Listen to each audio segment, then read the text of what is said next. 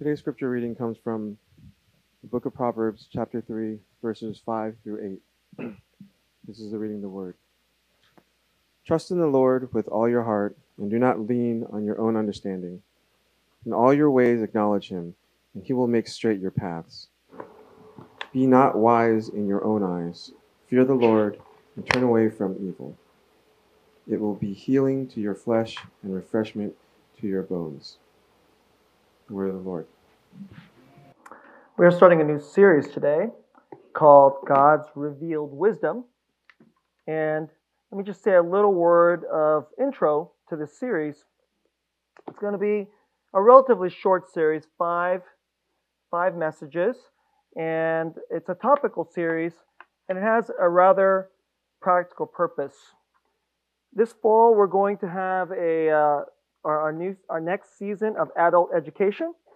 And one of the things that we, as your pastors and elders, have kind of just perceived as just common uh, among American in, in American Christianity is that a lot of people grow up, then they go to church. They're like, church, of course, church is important.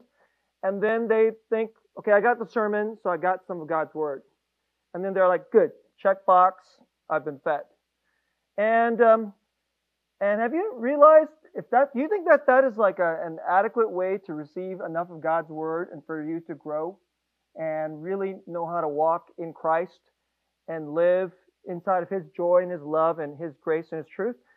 And if you were honest, I think you would probably say, a sermon's probably not enough. I don't think it is. And um, anyway, as as uh, Young and I, we've been pastors a long time. Let me just tell you, it's not enough.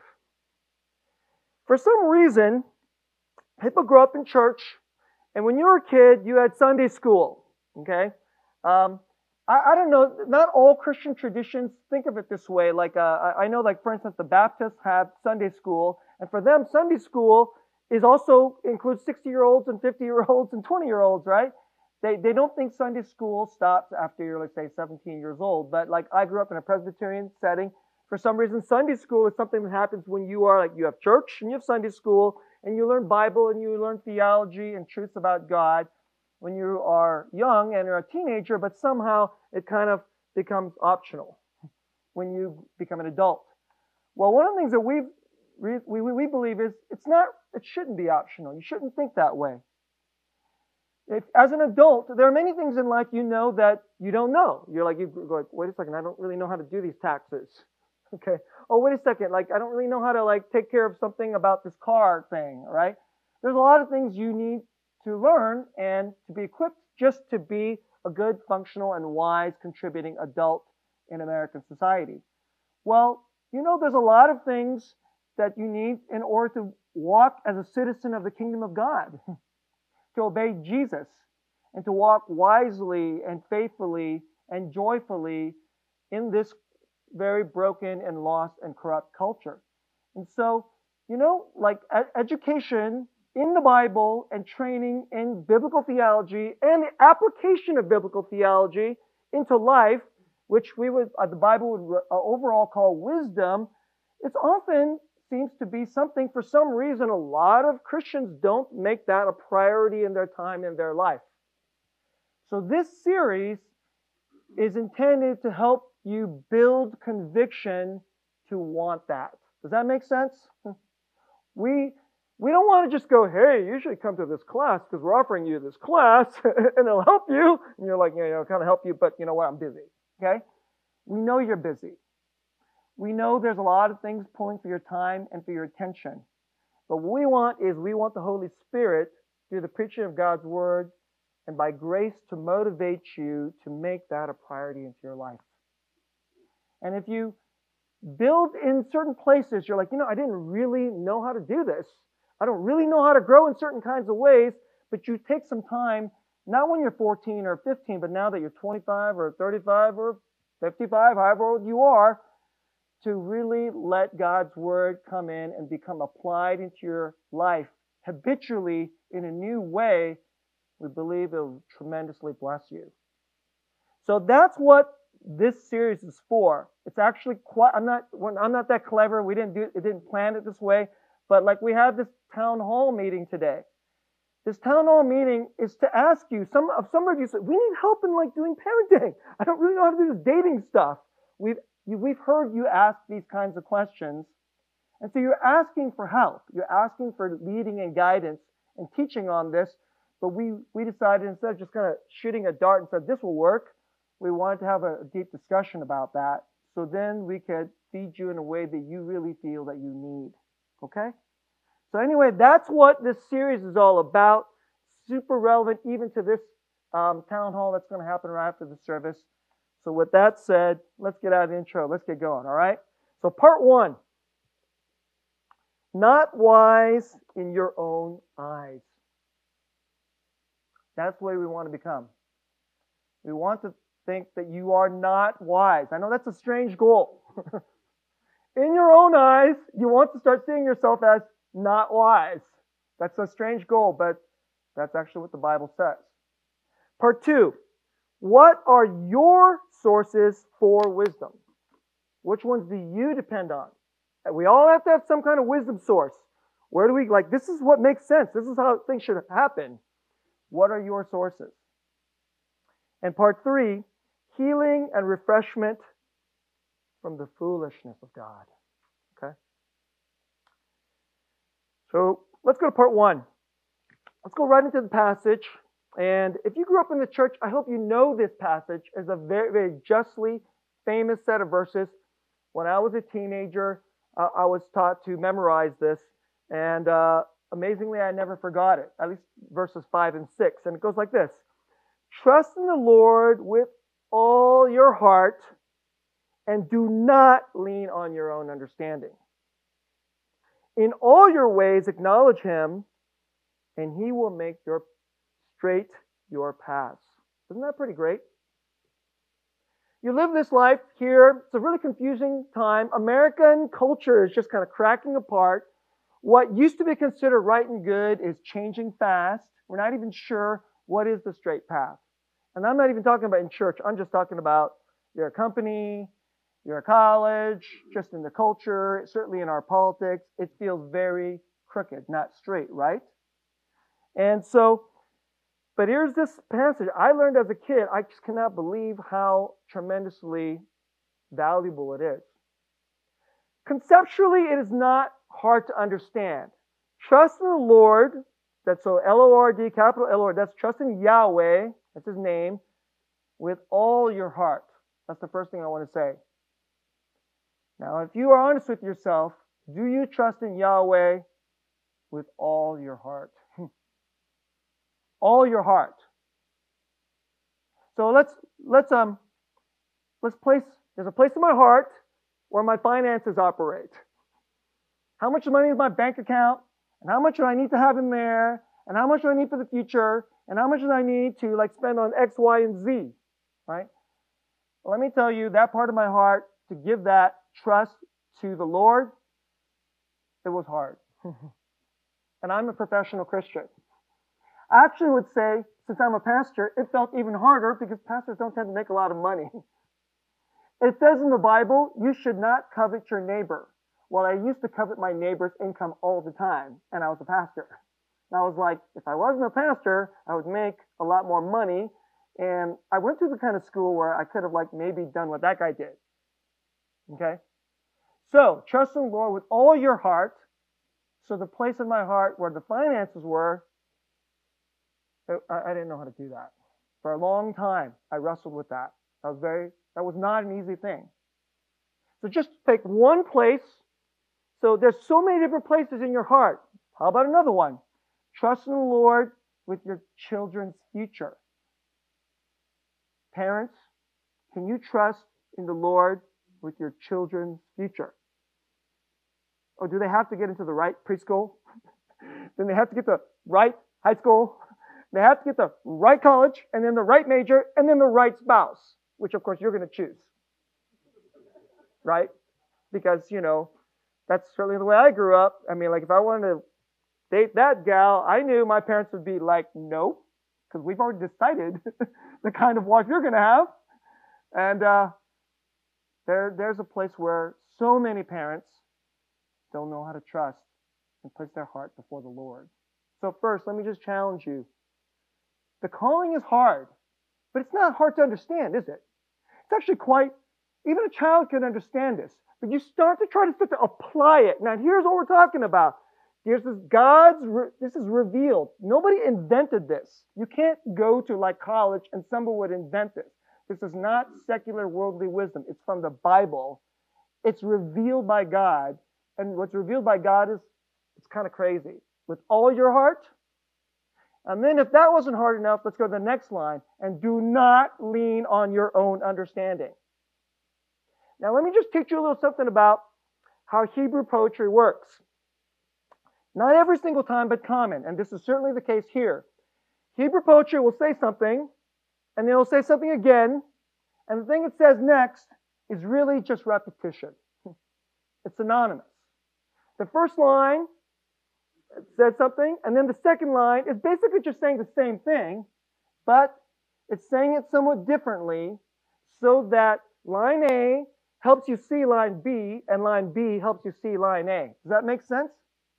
So really, trust the Lord with all your heart and do not lean on your understanding. It's not really two teachings, it's actually one teaching.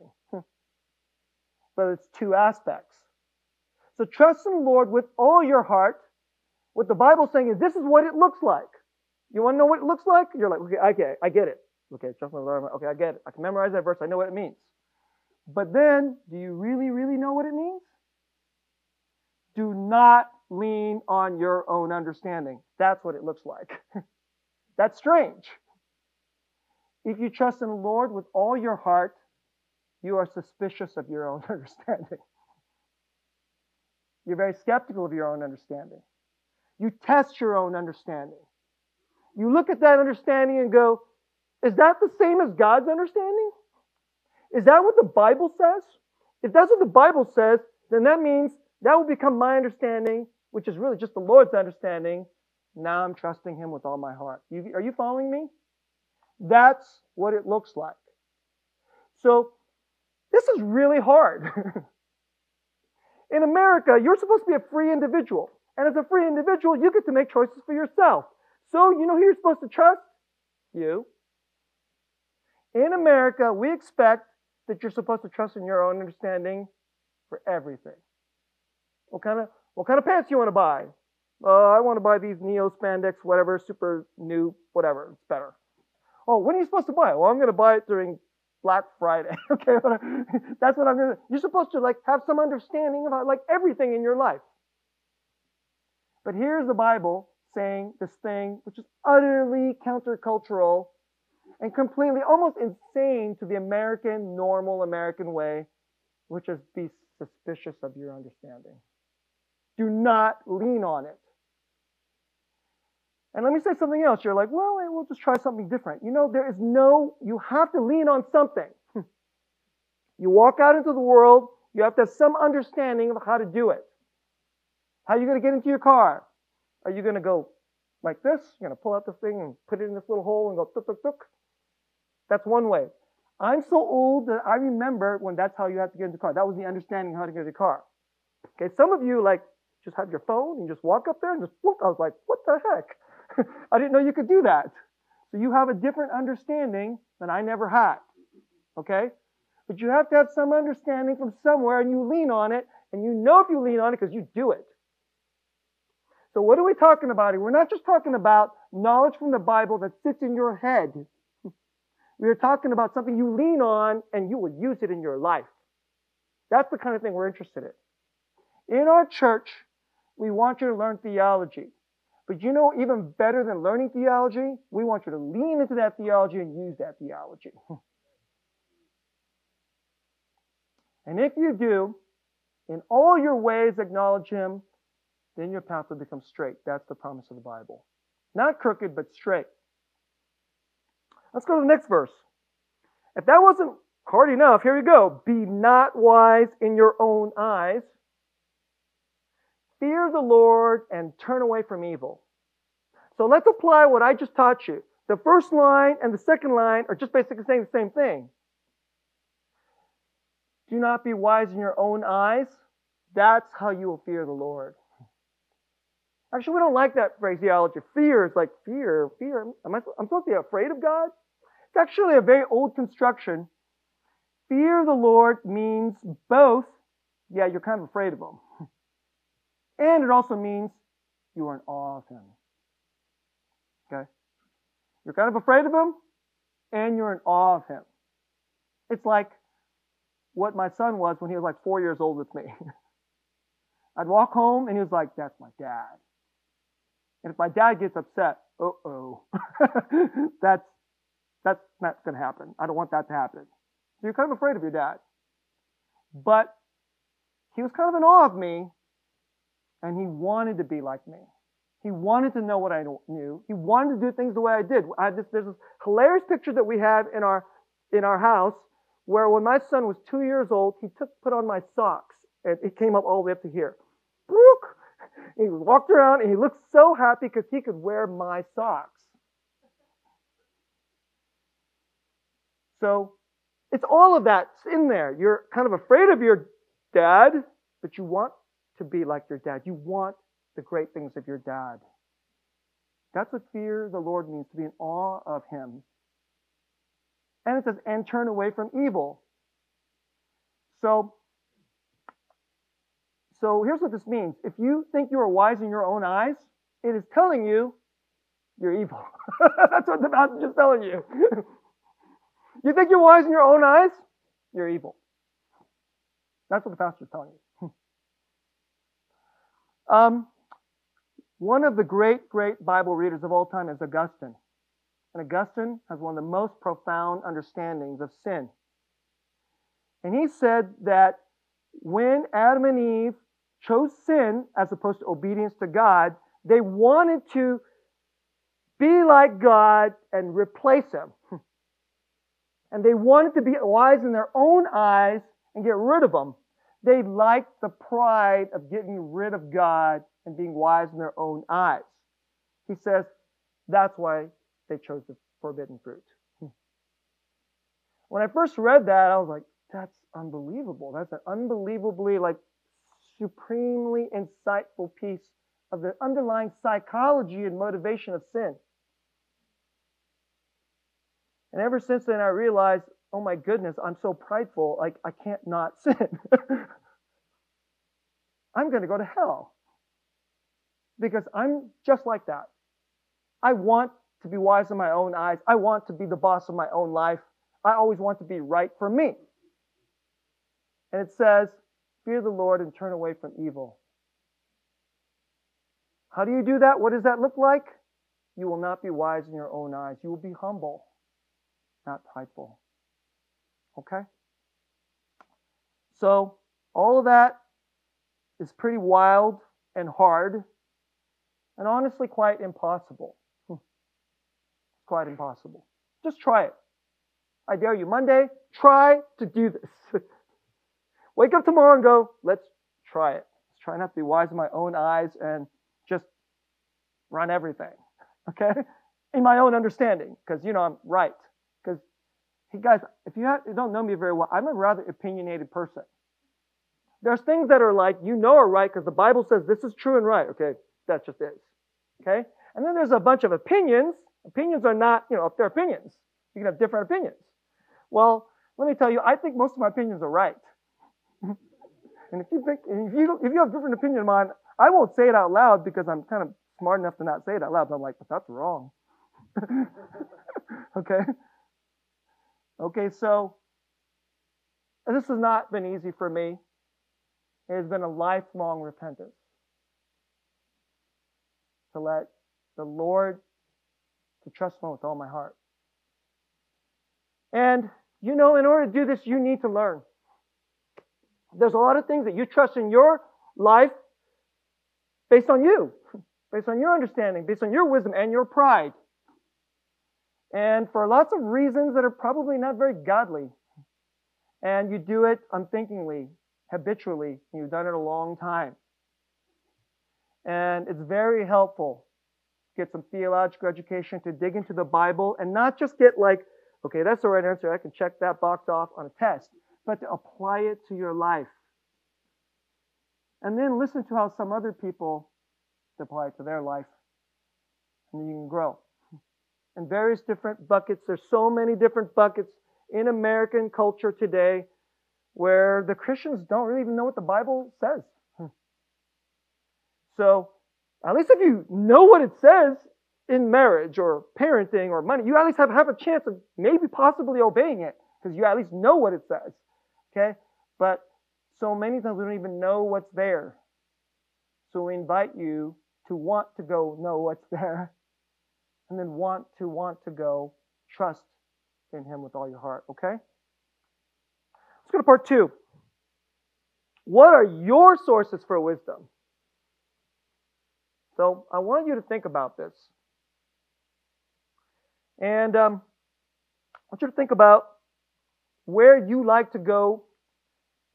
And this is just a way to like help you think this out and then find that there's a lot of buckets for you to be suspicious of.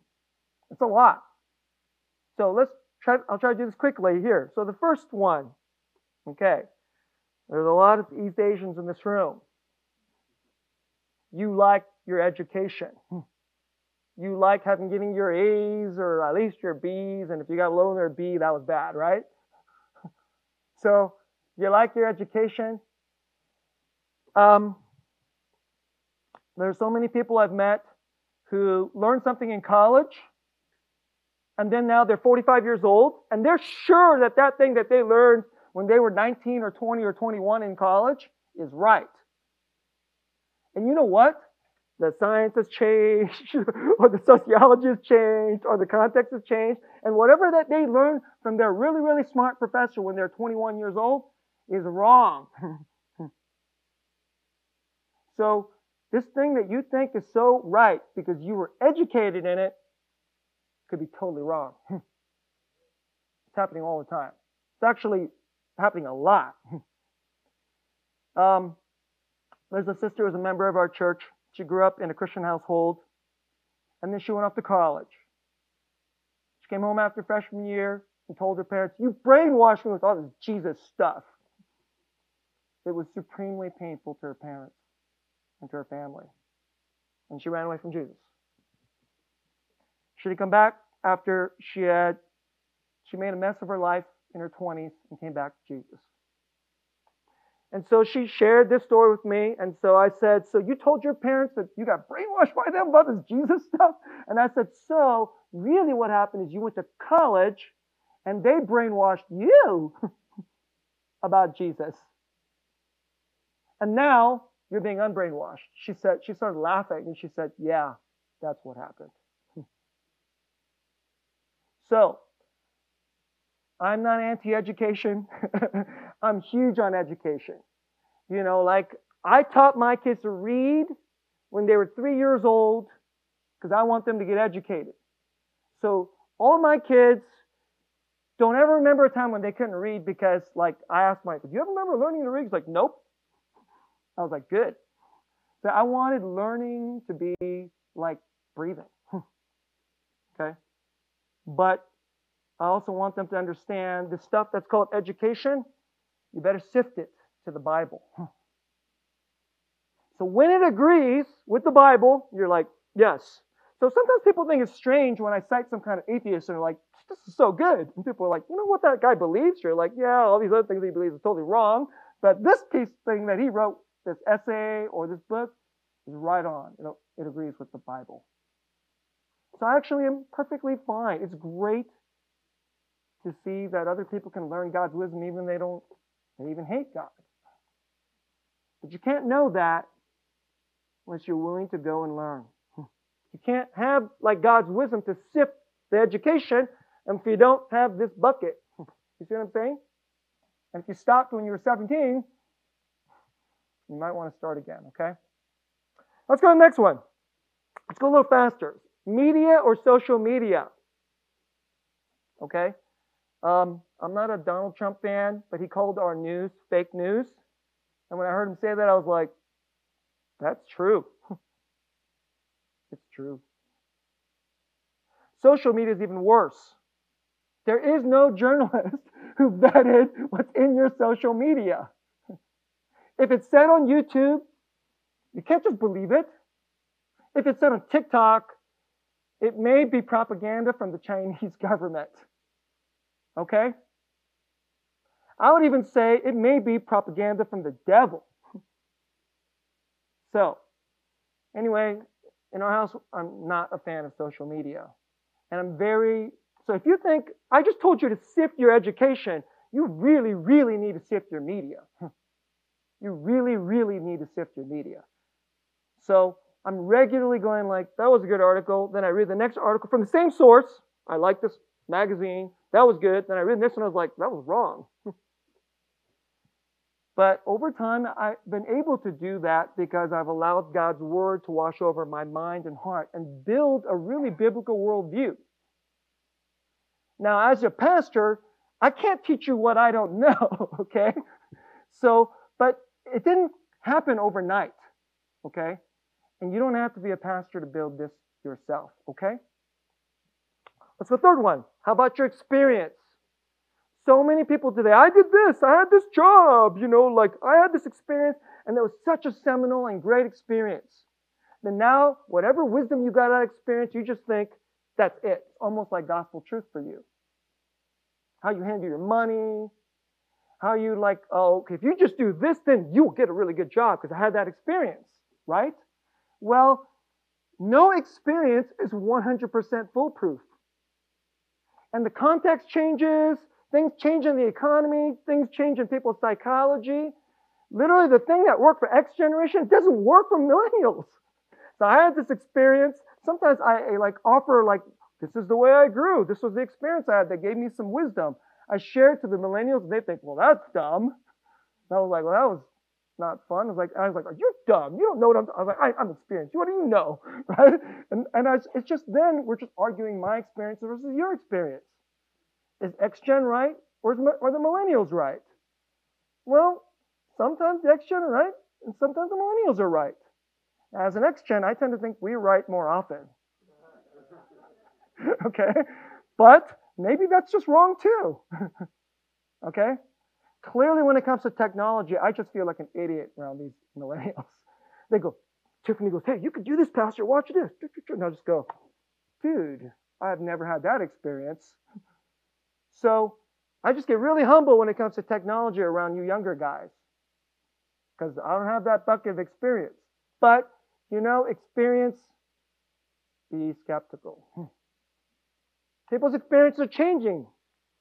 Sometimes people have good reasons let's use just a fast example. My parents grew up during the war. They were savers. They thought, how will you be safe in the world? You save, save, save, save, save. My parents are in their 80s. There's more food in their house than necessary for five human beings to live for six months. So their experience growing up during the Korean War, did it produce wisdom? Yes. But I think it's a little dated now, don't you think? I think. It's like, maybe we can get rid of two thirds of this food, mom? right? Just as an example. So every generation goes through things, it changes. How about this next one? Experts and expertise. Let me um, let me uh, actually critique the Christian version of this.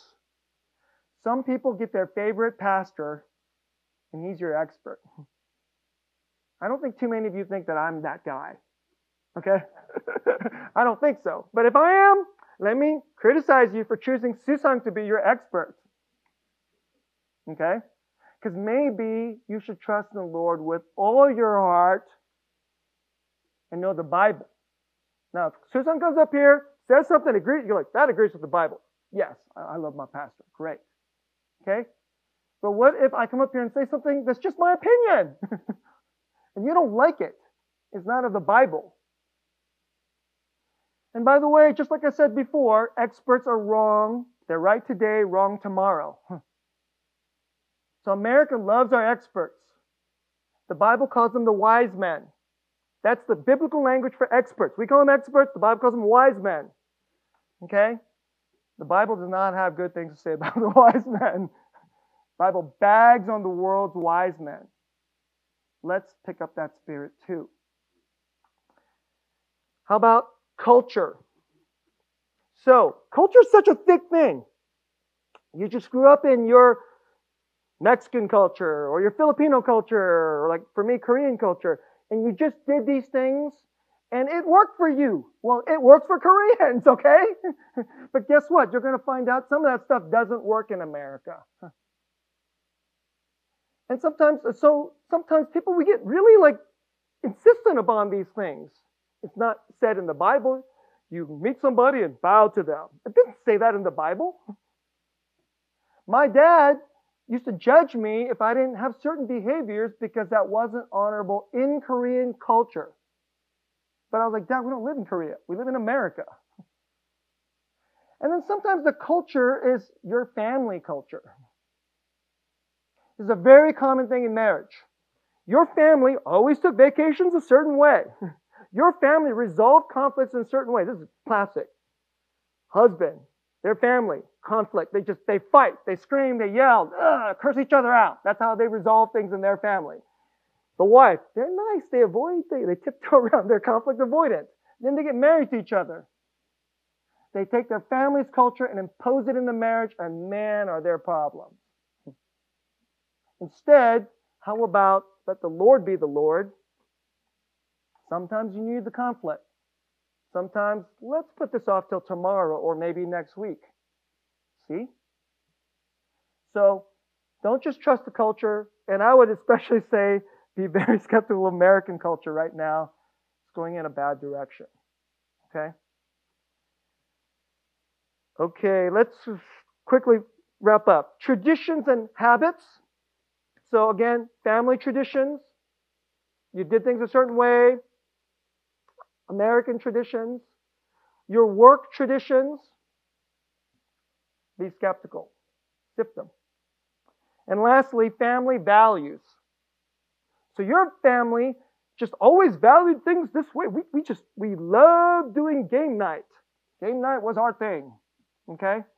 But it doesn't have to be the thing in your marriage, for instance.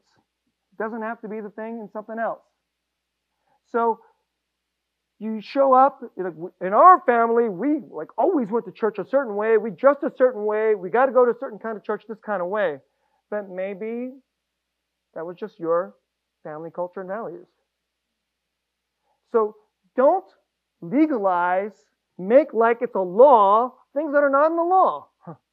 In fact, that's so much about wisdom. We have to choose how we're going to apply things and even habitually apply things, but can you ever change them? Can you ever adjust them? Because maybe this is more in keeping with how to walk more and more toward Jesus, especially in this time and place. So um, let's go back to this verse.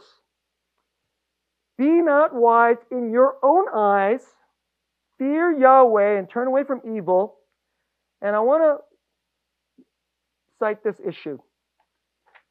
So you still have all these things. You got like, like my education, my family did things this way, this is the way my culture did things, and I'm gonna sift out these things, and then you're gonna like maybe date somebody. She came from a different culture, a different part of the country, you're coming from an engineering background. She's coming from an art background, like different wisdoms, different habits, different temperaments.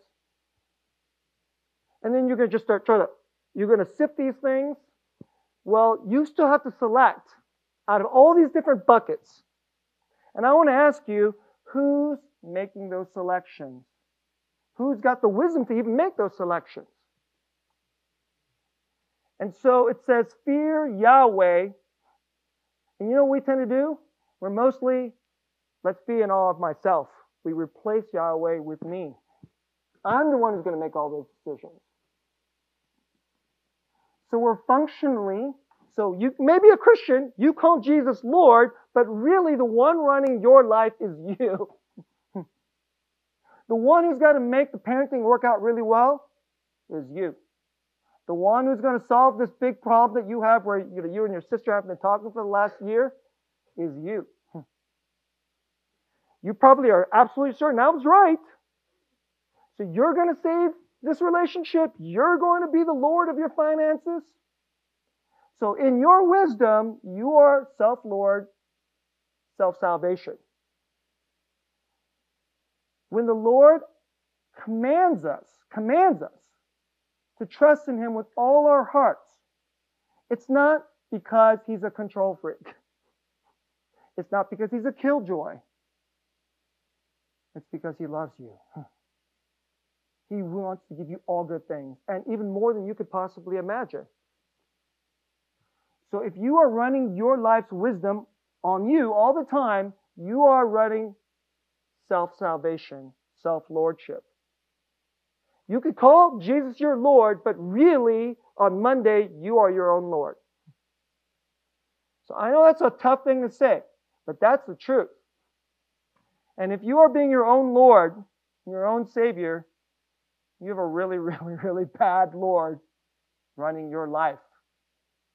Don't you want a good Lord running your life? Hmm. So, let's close with the gospel. Let's take to the last verse, which I really wanted to include because it's so wonderful. Verse 8. So if you will not be wise in your own eyes, and you'll actually fear Yahweh and turn away from evil, which is like pride and you running all things, it will be healing. It will heal you. Are you a worrying person? Are you a fearful person? It will heal you. Sometimes your worries and your fears, it comes out in anger. Your kid didn't just do that quite right. I taught my kids to drive. I was so scared.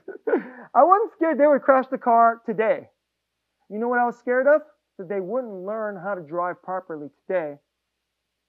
So they might kill somebody tomorrow. That's what I was scared of. I was so scared of that. It just came out as anger. I just I was just like pouring out anger on my kid and making the whole experience terrible. That's what it was like. And I was like, oh, wait, isn't their lives in Jesus' hand? Aren't they smart kids who are going to learn how to drive? And it's just like me. It's not like I was a good driver when I got my license. I had to crash a few times. I had to get some tickets. I just had to do some dumb stuff. It's like, but I'm afraid I don't want that to happen to them. Like, I'm going to, I'm not generally a helicopter dad, but on the driving, I, I just became super helicopter dad. And it came out with a lot of anger because filled with fear. I needed healing. You know, refreshment to your bones. The bones are something inside of you that you cannot see. And if your bones are hurting, if your bones are like weak, it will it'll, it'll just drive your whole body crazy. Even if just one of your bones is broken or bruised, it'll make you miserable. So here's a promise. It'll bring refreshment to the inside of you that's driving you crazy.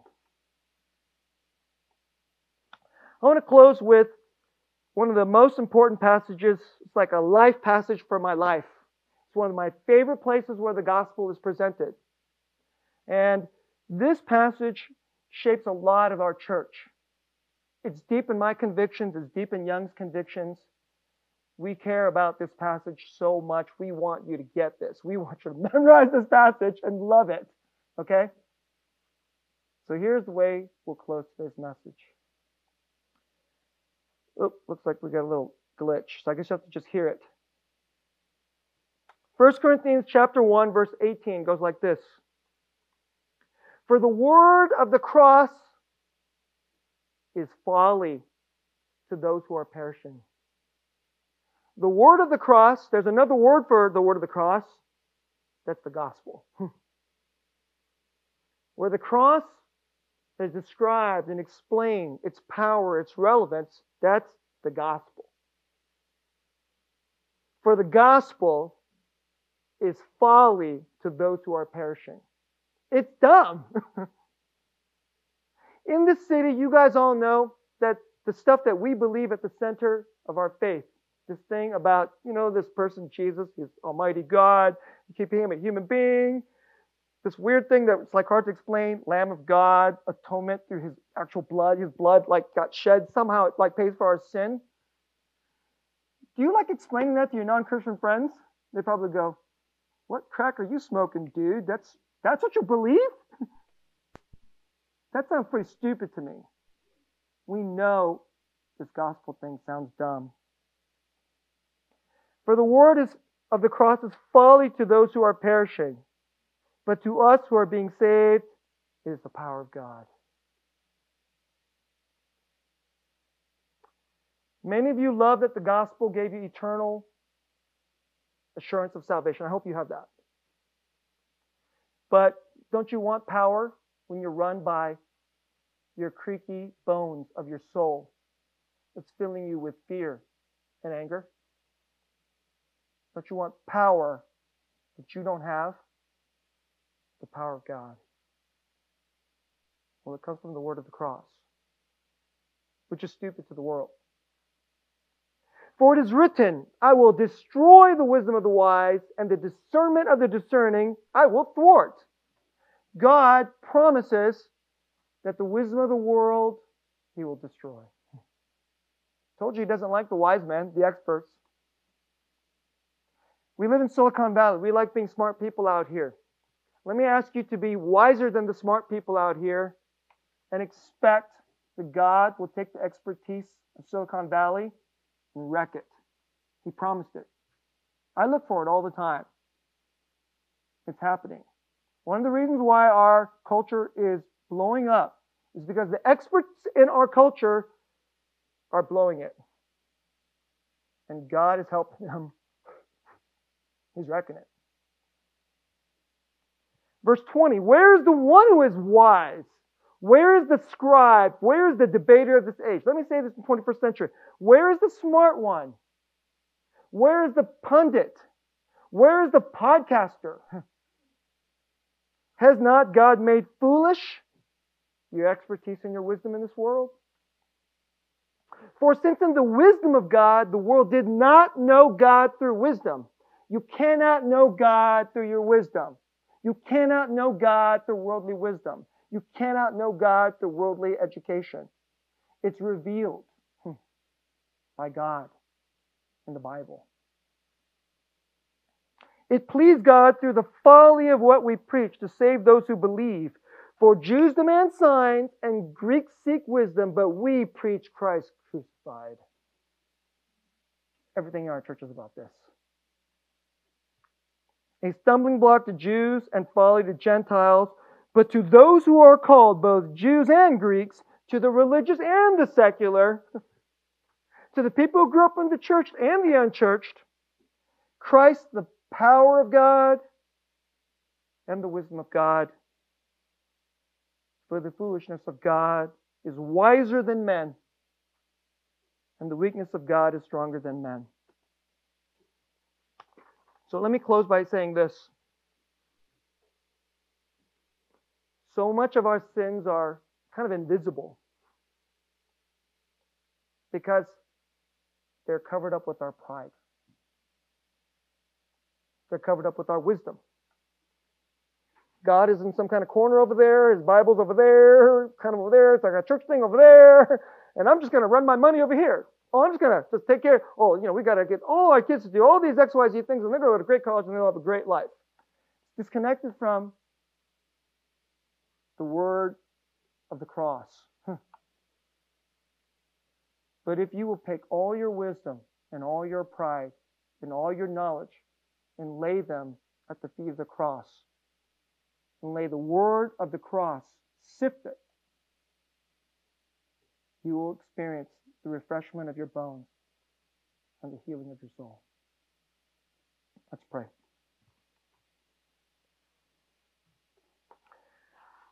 Lord, I pray that this is not easy word to hear, especially in our city. I love that so many in our church and in our city, well, they like education and they like learning and they like reading and taking in media and information. But I pray that we would do it with the word of the cross. it seems stupid. It seems foolish. Sometimes we can't see how the gospel relates to teaching your son to drive. Sometimes we just can't see those things. But help us to see that you must be exalted in our hearts, and we must be suspicious of our wisdom, and absolutely suspicious of our pride. Help us to not be wise in our own eyes, to fear you, to be in awe of you, to be in awe of the cross of Jesus, and to throw away the self sufficiency, the self lordship built upon our wisdom, not your foolishness. May we live our life built on all of your foolishness. The foolishness of the cross, most of all, and every strange teaching of your word, which we've overlooked and never realized how powerful and wonderful it could be. Give us conviction over these next few weeks and help us to turn our priorities so that we may grow and trust in you with all our heart. In Jesus' name.